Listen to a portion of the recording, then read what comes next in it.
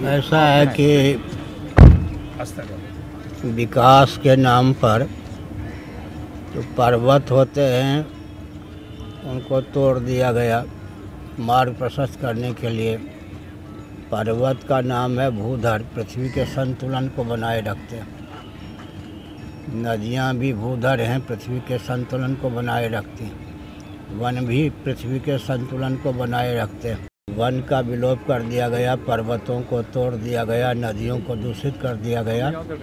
उसी का ये परिणाम है। विकास को बिना समझे हुए ही विकास के नाम पर जो काम किया गया, उसका भीषण ये परिणाम। प्रकृति को क्षुब्ध करना, प्रकृति को ठीक से बनाए रखना मनुष्य का काम है ना।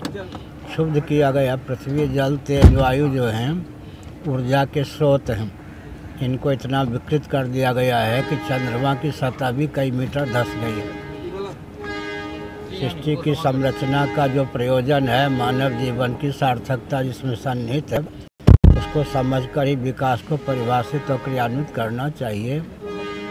भोग और मोक्ष के अविरुद्ध और अनुकूल वस्तु और व्यक्ति की उद्भावना का नाम विकास।